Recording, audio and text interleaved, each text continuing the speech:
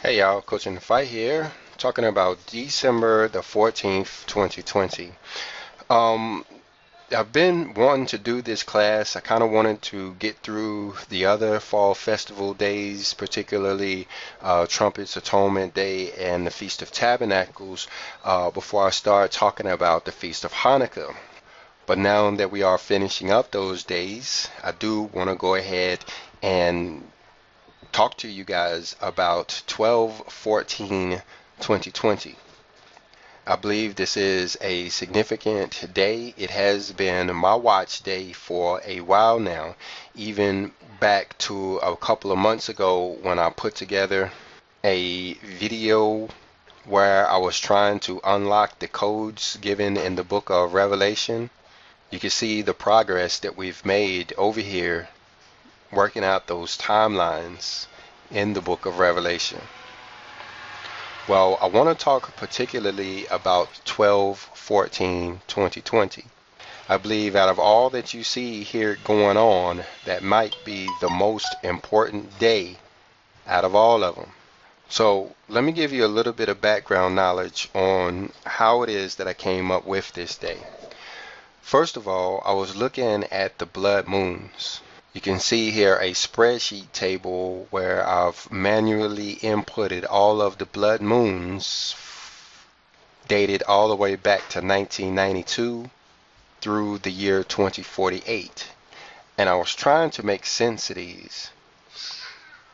Of course, we hear a lot about that tetrad that happened in 2014, but turns out there's a lot more to this story than just that single tetrad even that tetrad is incomplete.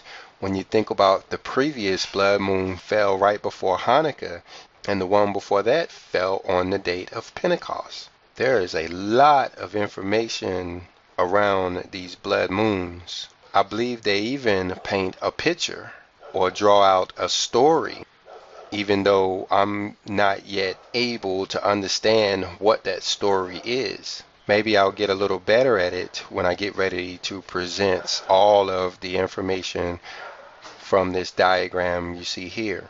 But in this video, I want to pay particular attention to the day 12 14 2020.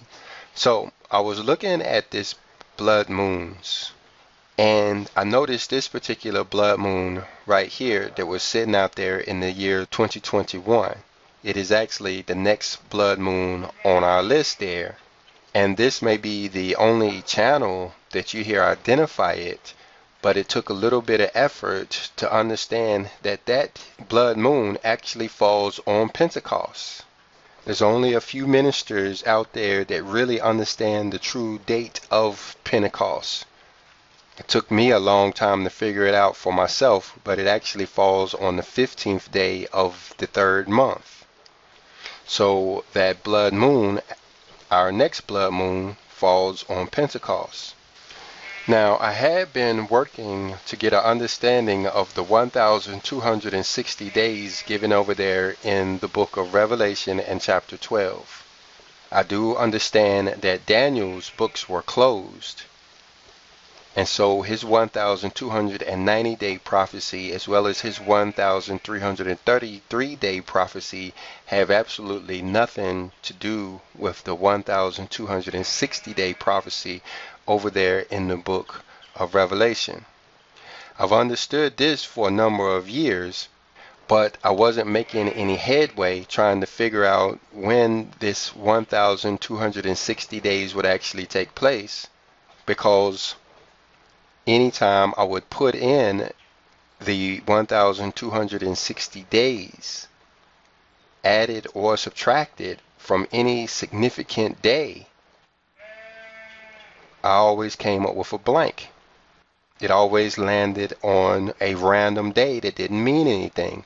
For instance, if you come over and you look at the Revelations 12 sign in the sky, and you put in the date 923 2017 and you add 1260 days to it you end up on a random day even when you put in the dates of the tetrad choose any one of those blood moons you want and you're going to end up on a random day And so for years, I had been trying to figure this out. I'm sure I'm not the only one trying to figure out what time span is that 1,260 days.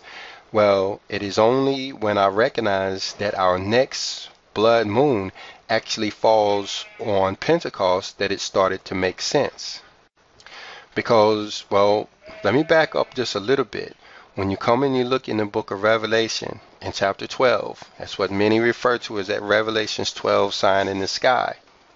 That is the starting point for the 1,260 days that you see in verse 6 of chapter 12.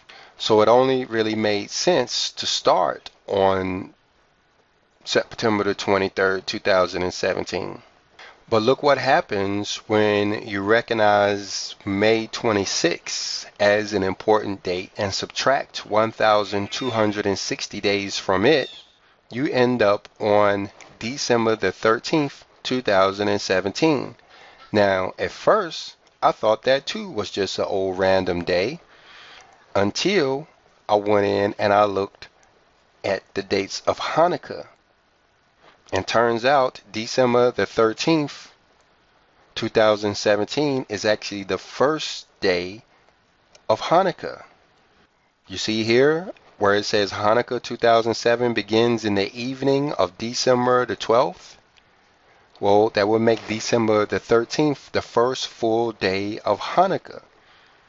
That is how our Father helped me to unlock the code of the 1,260 days.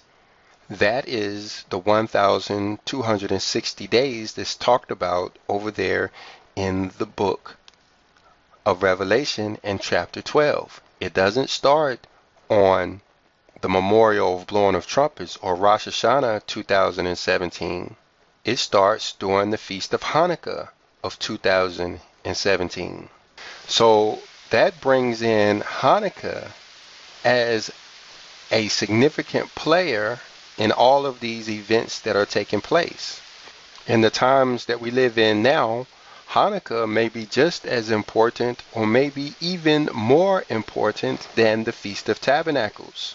I just did a class not too long ago on how Hanukkah is actually a second Tabernacles a tabernacles that you would perform 70 days after the first tabernacles.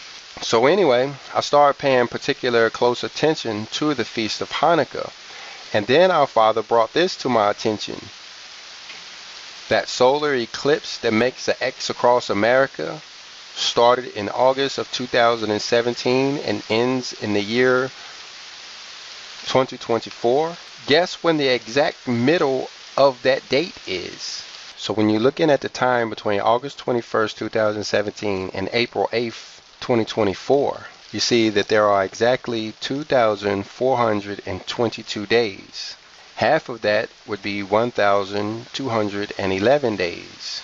So when you come in and you add 1,211 days, you find that the midpoint between that X and the sky is exactly December the 14th, 2020.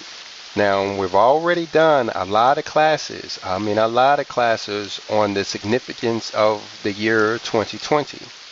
Basically, if you start over in the year 606 BC, which is the time that the 70 years of captivity started, and add 1,290 days, you end up at the abomination of desolation. And then if you add an additional 1,335 days, you end up in the year 2020. So what does that all mean? Well, look at what I understand has happened so far.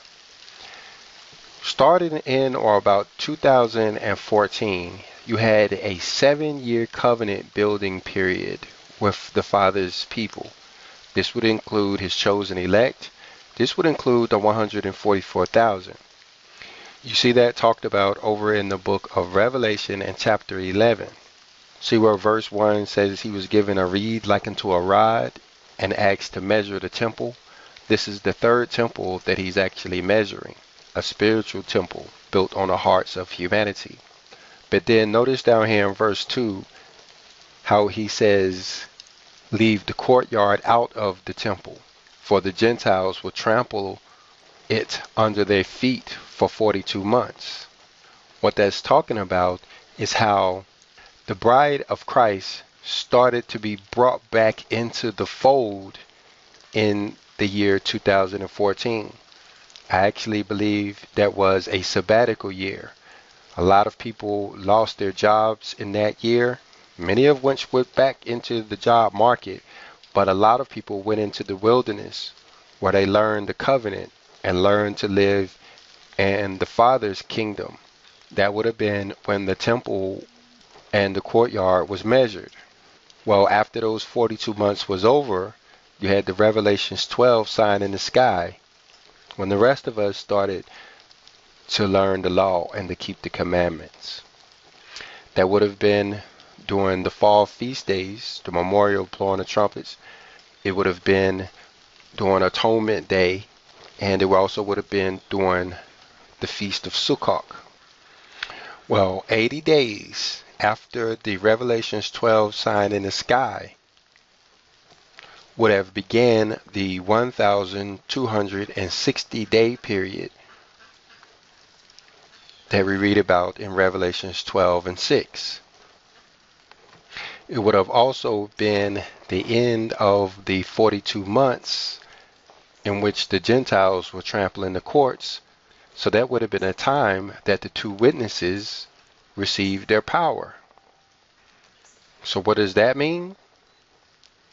If the 1,260 days began on 12-12-2017, that would mean that we will see the appearance of the two witnesses on Pentecost of the year 2021, which actually gives more credibility to this 1214 date as being the Great Awakening date because it very well could happen so that there's a great awakening in all of humanity on 12, 14, 20.